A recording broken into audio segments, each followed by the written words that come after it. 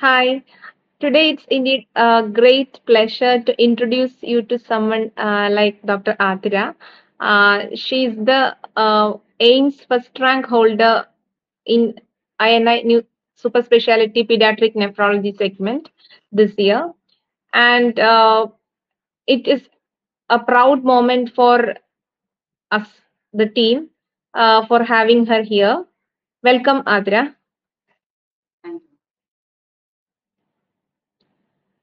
So we know that uh, uh, going through a journey uh, like from specialty to subspecialty is always uh, tiring and needs so much perseverance.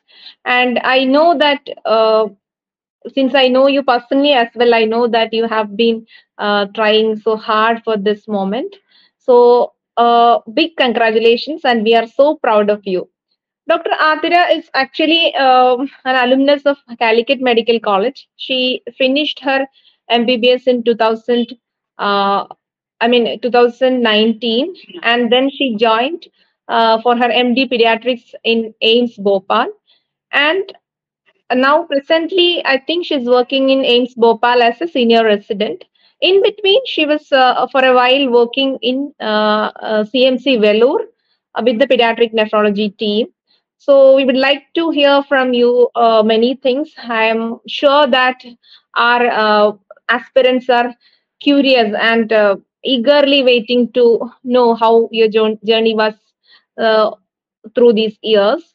So uh, my first thing would be when when did you start developing an interest towards pediatric nephrology and why pediatric nephrology? What was that uh, point? It's actually started only uh, just organically. Uh, I did my uh, MBBS from Calicut, then I started my MD from AIIMS Bhopal. In AIIMS Bhopal, my mentor was Dr. Girish Chandra. He is mainly uh, training, uh, giving training us in pediatric nephrology.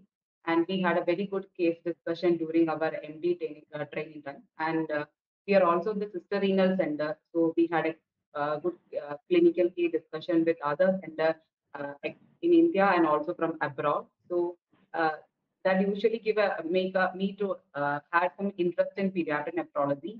And uh, my uh, MD uh, thesis also under ABPM. So on the three years, I had a lot of opportunity to uh, see the cases of pediatric nephrology and uh, go to the re- recent advances in pediatric nephrology.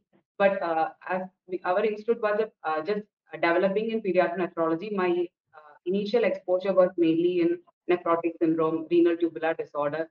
So based on that, I gave my first attempt of uh, universal pediatric nephrology in 2020 uh, December. Uh, in that exam, I got a rank of three. Uh, following that, uh, I had an exposure to have a, a pediatric nephrology conference in AIIMS New Delhi. And there I met Dr. Georgie sir, and he introduced me to the CMC Vellore. And I am lucky that I have a lot of good teachers during the last three years who really uh, helped me to go through this journey. And in CMC Vellore, I have Dr. Joji sir, Dr. Swati Kiran ma'am, and they actually introduced me uh, how the specialty will work.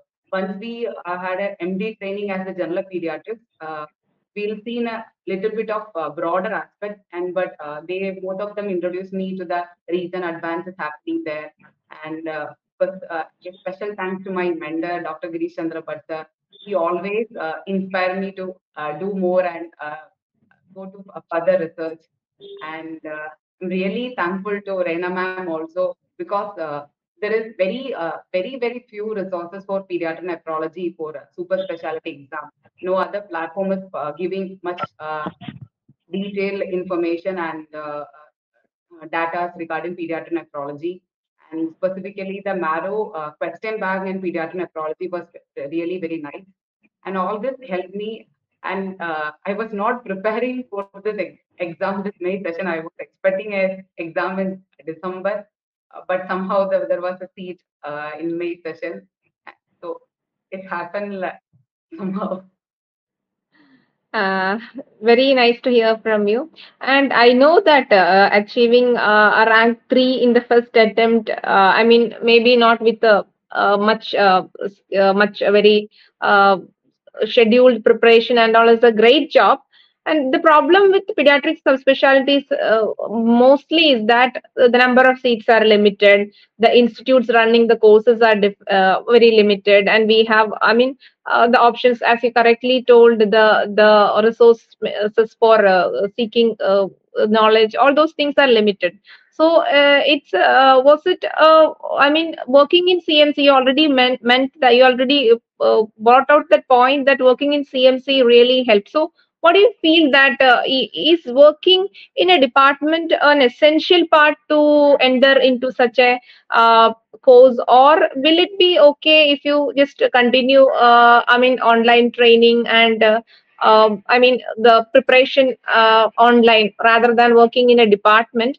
So what do you feel? Uh, the, the working in department is the essential thing or what is your call on that uh, uh, actually, I have experienced both the merit and demerit of both of things because uh, mm-hmm. last year I worked in as a senior resident pediatric nephrology in CMC Vellore till July, and uh, as I took a break to prepare for the INSA because uh, CMC the work schedule was very hectic, so uh, prepare mm-hmm. for preparation.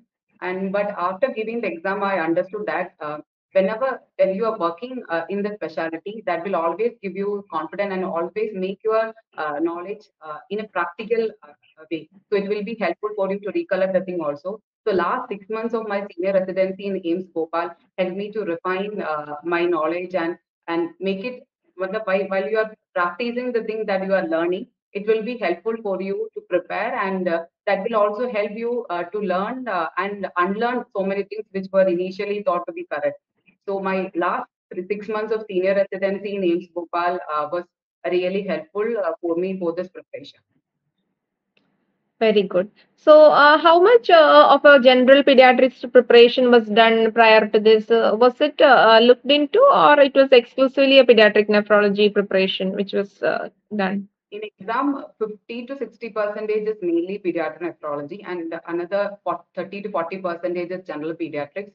Uh, okay. General pediatric part, a uh, little bit we have prepared at the time of MD, and as I was working here, I have very limited time, so I just brush through the important topic which is have which has a relation with the pediatric nephrology, like oncology, like tumor lysis syndrome, and some little bit of Wilms tumor or neuroblastoma, pheochromocytoma, and in pulmon, uh, pulmon pediatric pulmonology, looking detail of cystic fibrosis, and uh, a little bit of more detail in hypertension, which is and other causes of hypertension, cardiovascular system. So I always try to link those uh, sub uh, topics which are related to pediatric nephrology and in other subspecialty. Otherwise, uh, because of lack of time, um, I couldn't complete the general pediatrics from one end to other end.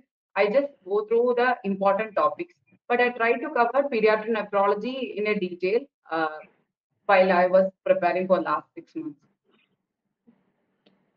Thank you. So uh, you already told uh, that uh, working in a department had really helped. I mean, working in the department of pediatric nephrology has really helped you. And uh, was that uh, uh, for the second part? I mean, the interview part of the AIIMS exam, or in the theory also, you feel that it has really, I mean, backed up you with the help.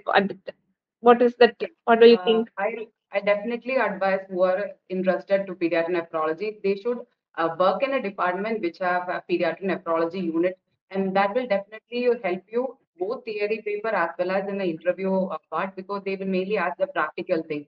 Uh, theory knowledge have uh, will help you up to the MCQ exam for the IVA part and uh, to the interview session. Definitely, you need to be in uh, working in a institute which is having pediatric nephrology because that will also help help you how should you apply your knowledge that you are uh, gaining through reading books or listening videos?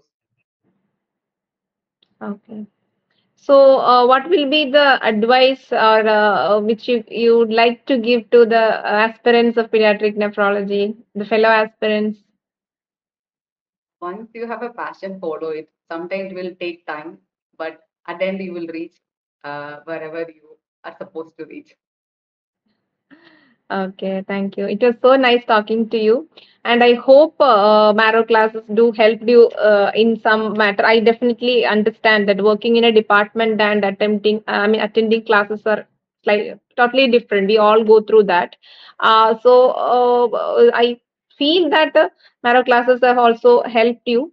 And uh, you're always welcome to give suggestions regarding improvising our classes. Uh, so it was very nice to talk to you. Uh, all the best for your future endeavors. Thank you, ma'am. I'm really uh, thankful to entire Marrow team uh, because they provide an excellent bank. Unfortunately, I couldn't finish all pediatric nephrology lecture, but I go through important topics. And uh, while I was uh, sitting in board, whenever we are having free time, I used to cover all those Sena ma'am's video. And uh, I am still uh, I'm remembering the first time when I saw that Marrow is providing pediatric nephrology, and there are some classes there. I think I I subscribed this is within few days of its uh, it is there. But initially the videos were not uploaded in uh, in full content. So now the aspirants are lucky they have all the topics uh, uploaded and they can prepare. Thank you. Thank you, Adra. Thank you. All the best.